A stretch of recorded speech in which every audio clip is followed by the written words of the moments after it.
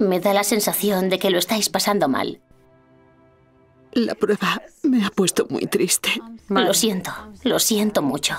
Hay sitios donde no sientes nada y en otros momentos pensabas que estaba en un pie y resulta que era el otro.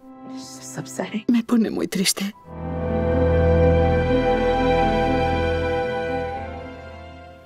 Cuando ando me siento como una patana, como uno de esos caballos que caminan aporreando el suelo con las patas y es muy poco atractivo.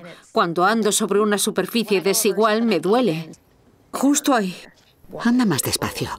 Y también cojeo con el pie derecho, aunque sea el izquierdo el que me duele. Mis pies son horrorosos. El pie derecho ni siquiera parece un pie, parece un bloque. Y en el pie izquierdo tengo una dislocación que empezó como algo sin importancia, pero que ahora ha hecho que el dedo esté desfigurado. Esto está desnivelado, así que ten cuidado. Ha sido muy duro verla pasar por tanto dolor, tanta incomodidad, verla tan limitada cuando es tan independiente. Es hora de sentarse. Ahora estás cojeando más que antes. Voy a enseñarte cómo de hinchado está este. En 2013 se me infectó el pie y la infección estaba en el hueso.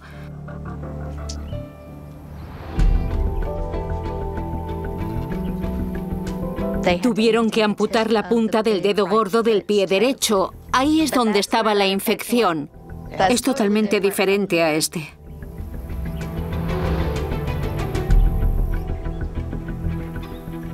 Dios mío.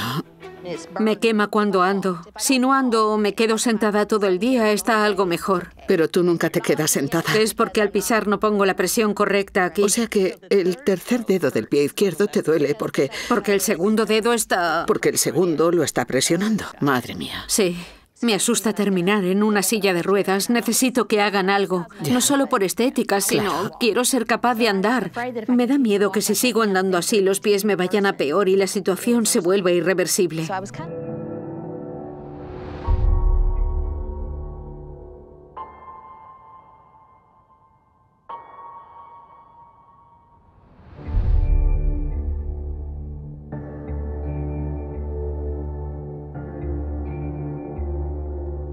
Tiene varias cosas. En el pie derecho ya ha sufrido una amputación, pero también ha tenido problemas con el pie izquierdo, en el que se ha dislocado el dedo gordo. Nunca se lo llegó a tratar, así que desarrolló otra infección en el segundo dedo y creo que sigue infectado. Claramente está dislocado. ¿En qué momento se hinchó tanto? Creo que unos dos años y medio después de la lesión original. ¿Después de esto? Vale. Podría haber un problema subyacente. Lleva infectado bastante tiempo. Es una osteomielitis subyacente. Es algo bastante aterrador porque cuando el osteoide se asienta en el hueso puede tardar un tiempo en manifestarse. Vale. O sea que hay un par de cosas aquí. Quiero hacerte una pequeña prueba. Quiero que cierres los ojos y me digas en qué parte del pie te estoy tocando. La gente que sufre una neuropatía no siente los pies. Básicamente es como si los nervios se fuesen corroyendo lentamente. Decidí hacer un procedimiento estándar para cualquier diabético que viene a una consulta.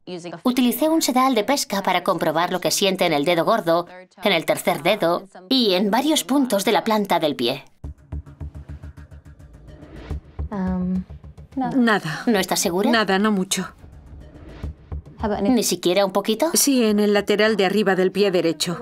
Vale. Y después en la zona de los dedos. Vale. ¿Y aquí arriba? No mucho. No mucho. Vale. En su caso apenas sentía nada. En un momento estaba tocando su pie izquierdo y dijo que lo sentía en el derecho, lo que me preocupa. A ver, probablemente sepas ya que tienes una neuropatía. Significa que la sensibilidad no es tan buena como antes. Son conversaciones duras. Son conversaciones muy duras porque pueden terminar en algo más grave.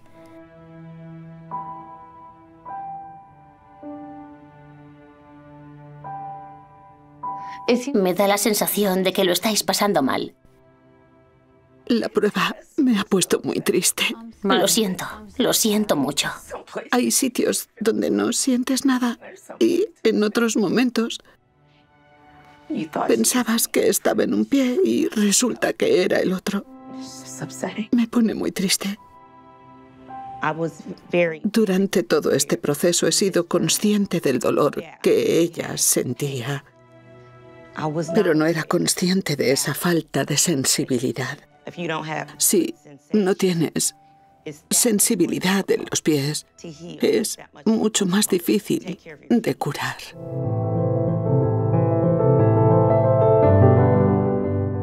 Solo me preocupa una cosa. ¿Qué pasa? ¿Qué te pasa por la mente? Bien, pues me parece bien todo lo que discutimos sobre el dedo gordo. Vale, dedo gordo, todo bien. Pero no estoy cómoda con hacerme nada en el segundo dedo. ¿No sería mejor dejarlo como está? ¿Sugieres que no toquemos el segundo dedo? ¿Eso es lo que quieres decir? No es mi recomendación médica porque cualquier tipo de infección es peligrosa. Una infección del hueso es realmente horrible. Me preocupa la salud y el bienestar general de ella, pero al final es su decisión.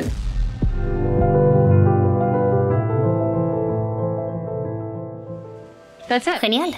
Ya está. Se ve la articulación en su sitio. Está situada en el lugar óptimo para fusionarse, que es exactamente lo que queríamos. Voy a empezar a suturar la piel de nuevo. Para que se asiente bien, tendrá que ponerse una bota durante seis semanas después de la cirugía. Estoy contenta con el resultado. Está genial, pero también puede verse en los rayos X. Buen trabajo. Christine no quería que tocase el segundo dedo, así que no le hemos hecho la biopsia. Pero me sigue preocupando.